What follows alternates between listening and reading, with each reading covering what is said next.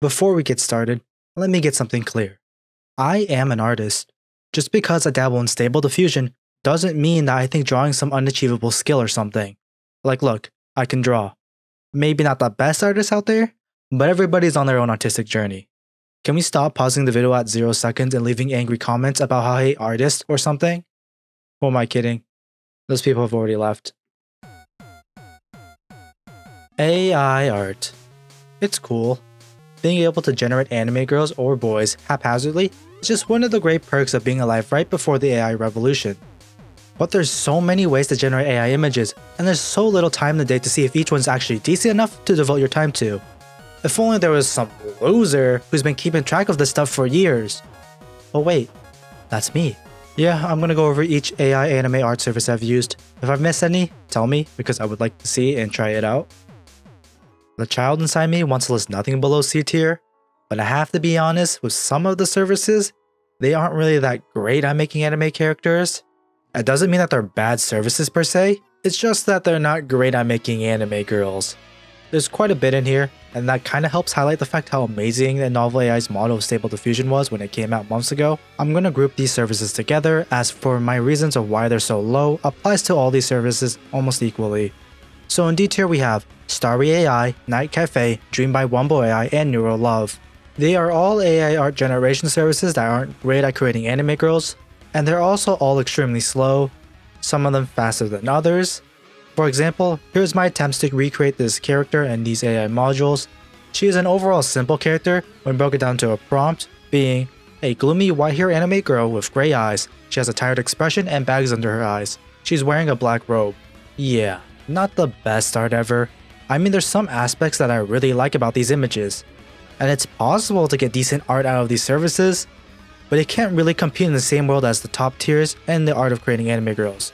Most of the D tiers also run on a token system that isn't really worth the money that you put into it, but really what token system is actually worth it. If you had asked me before October 2022, the D tiers would easily be B tiers. That's how crazy the recent improvements have been. Next we have the C tier, or what was the old A tier. These services are specialized in creating anime girls, so the results are much, much better than the D tiers. They're also more limited in scope compared to D tier. You won't be getting a landscape out of these services, but you will get a damn decent anime girl. So from now on, we're gonna be more specific with the pros and cons here, and really focus on the service. First off in C tier, we have This Anime Does Not Exist, the new and upgraded form of the original AI waifu art generation service back in 2018. This waifu does not exist. It's an older module of image generation running off a custom trade version of StyleGAN 2, which means that it's also 2 years behind on AI innovation. However, the custom training works wonders, as it's able to create some decent anime characters. There is a lot of classic AI jank with these images, you know, eldritch limbs, warped body, but that's part of the charm of the early days of AI art. As for negatives, however, we have to go over how unfriendly this anime does not exist is at trying to get specific things generated. It uses the normal does not exist random grid layout to show generate images, making everything up to chance. You might find art that you like, you might find Eldritch Abominations. It's not really a service you go into hoping to find your waifu or construct an OC. More of a gallery of what AI art can do. An outdated gallery at that. The control that you are given, however, is quite vague, being the dreaded creativity slider. What does it mean? What does it do? Who knows? It can cause mitosis, make a flat girl with a scarf grow huge boobs. It can cause mitosis. On the bright side, selecting an image on the grid will give you a ton of creativity slider versions of the image, so you aren't really missing out too much due to the vague system. Overall, it's a great module if you don't really have anything specific in mind and don't mind dredging through classic AI body horror.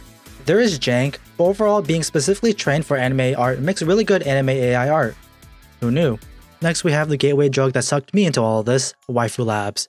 Actually this is Waifu Labs V2, which was introduced at the beginning of 2022 so it's like almost a year behind in innovations. The guys at Sizigi already made a really good video describing how the AI works. It's really nice, it breaks it down to simple ideas. You should really check it out. Basically, Waifu Labs uses its own GAN system specifically trained for anime characters, like this anime does not exist. However, it goes the extra mile by breaking down parts of the image into DNA-like features called latents.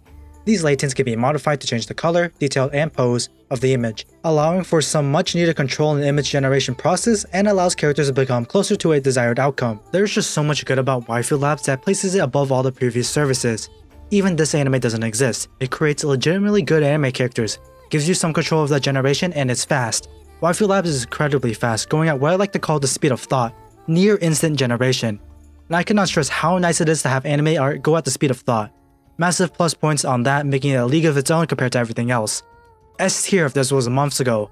B tier, the B tiers were on a league above a league of its own.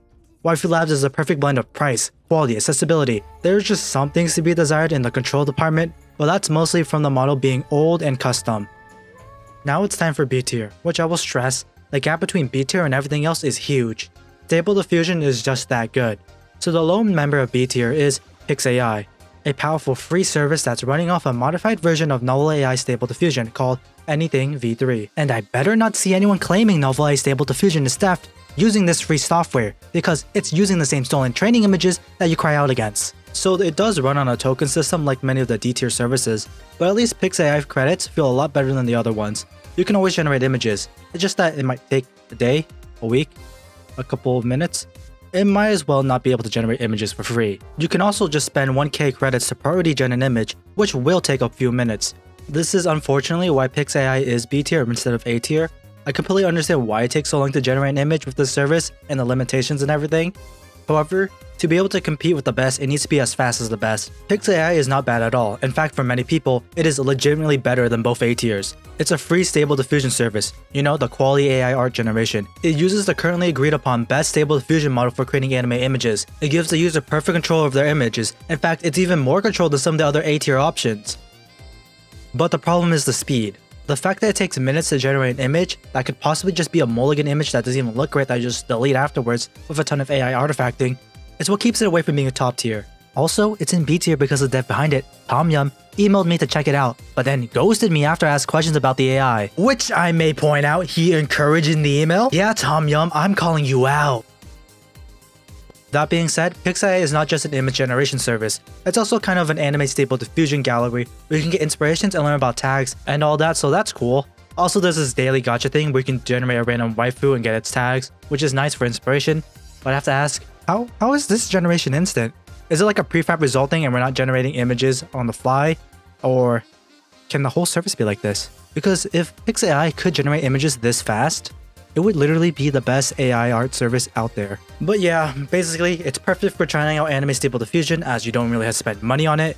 Okay, future me here since PixAI has evolved quite a bit, and I have a ton more experience with it now since ImageGen is now at reasonable speeds.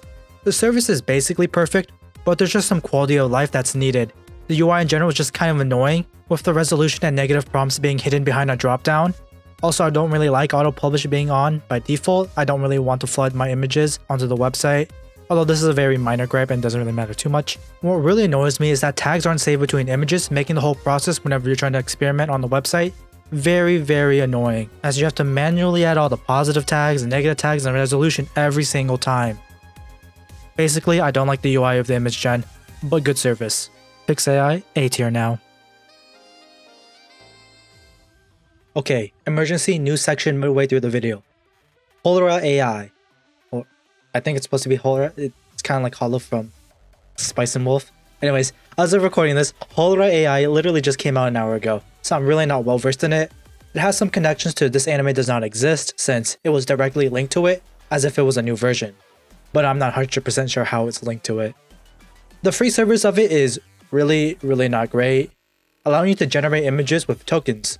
Okay, cool, pretty standard. But wait, that would be way too nice. So instead, you can only randomly generate images, like literal zero control on what you get. You'll get something, and you'll like it.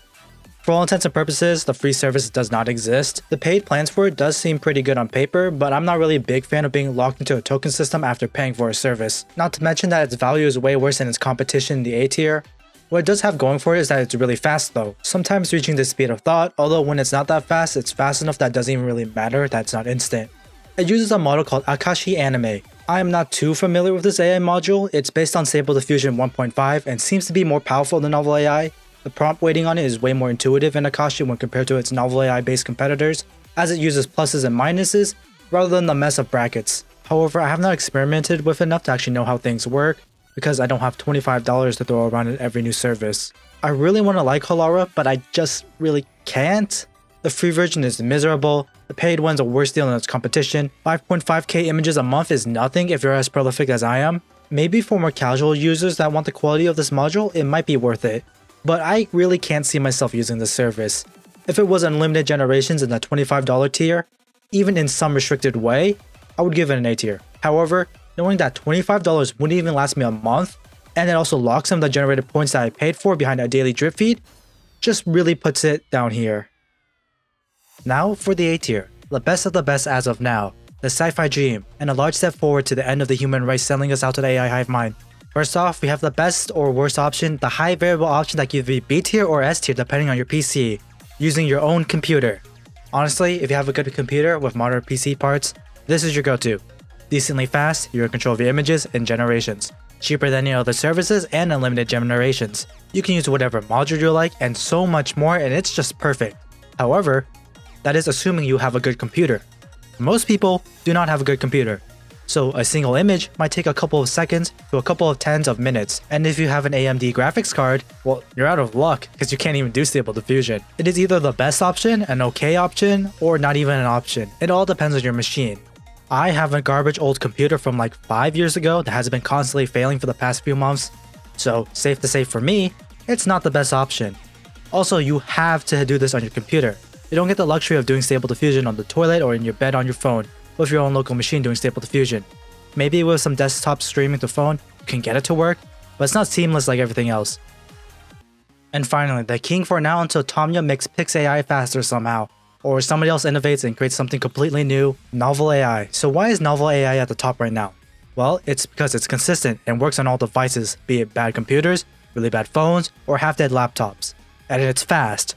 Image generation runs at the speed of thought, and it has the normal of Stable Diffusion, the main problem? The cost. Novel AI is expensive. Well, expensive for unlimited generations, and trust me, you're gonna want unlimited generations when it's at the speed of thought. Not to mention, Novel AI comes with some nice quality of life functions like saved images having prompts stored in the metadata, which I may add is one of the best quality of life features ever, as it allows for recreations of characters or ideas without having the prompt stored somewhere, separate or out of the way. There's nothing more frustrating trying to recreate some idea or concept or effect, and nobody remembering what prompts were used to cause it. Projects like The Boys would never happen if it weren't for metadata tag storage. Overall, Novel AI is carried by its quality of life features being fast and consistent. However, it falters in its price and the fact that some might prefer anything v3 over the module that's being used. Great if you don't have a good PC, but have $25 monthly to spend.